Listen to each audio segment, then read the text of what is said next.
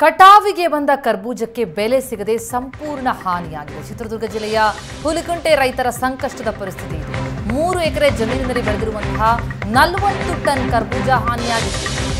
ಸರ್ಕಾರದಿಂದ ಬೆಳೆ ನಷ್ಟ ಪರಿಹಾರಕ್ಕಾಗಿ ರೈತರು ಆಗ್ರಹಿಸ್ತಾ ಇದ್ದಾರೆ. ಕಟಾವಿಗೆ ಬಂದಂತಹ ಕರ್ಬೂಜ ಇದು ಆದರೆ ಬೆಲೆ ಸಿಗದೆ ಸಂಪೂರ್ಣವಾಗಿ ಹಾನಿಗೊಳಗಾಗಿದೆ. ಚಿತ್ರದುರ್ಗ ಜಿಲ್ಲೆಯ ಹುಲಿಕುಂಟೆ ರೈತರ ಸಂಕಷ್ಟದ ಪರಿಸ್ಥಿತಿ ಇದೆ. ನಲವತ್ತು ಟನ್ ಕರ್ಬೂಜ ಹಾನಿಯಾಗಿದೆ. ಮೂರು ಎಕರೆ ಜಮೀನಿನಲ್ಲಿ ಬೆಳೆದಿರುವಂತಹ ಕರ್ಬೂಜ ಇದು. ಹೀಗಾಗಿ ಬೆಳೆ ನಷ್ಟ ಪರಿಹಾರಕ್ಕಾಗಿ ರೈತರು ಆಗ್ರಹಿಸ್ತಾ ಇದ್ದಾರೆ ಸರ್ಕಾರವನ್ನು. ದೃಶ್ಯಗಳಲ್ಲಿ ನೋಡ್ತಾ ಇದ್ದೀರಿ. ಕಟಾವಿಗೆ ಬಂದಂತಹ ಕರ್ಬೂಜವನ್ನ ಕಷ್ಟಪಟ್ಟು ಬೆಳೆದಂತಹ ಬೆಳೆ ಈಗ ಮಾರಾಟಕ್ಕೆ ಆಗೋದಿಲ್ಲ ಅಂತಂದ್ರೆ ಅದಕ್ಕಿಂತ ದೊಡ್ಡ ಹೊಡೆತ ಒಬ್ಬ ರೈತನಿಗೆ ಮತ್ಯಾವುದೂ ಇಲ್ಲ. ಸರ್ಕಾರದಿಂದ ಹೀಗಾಗಿ ಬೆಳೆ ನಷ್ಟ ಪರಿಹಾರಕ್ಕೆ ರೈತರು ಆಗ್ರಹಿಸ್ತಾ ಇದ್ದಾರೆ.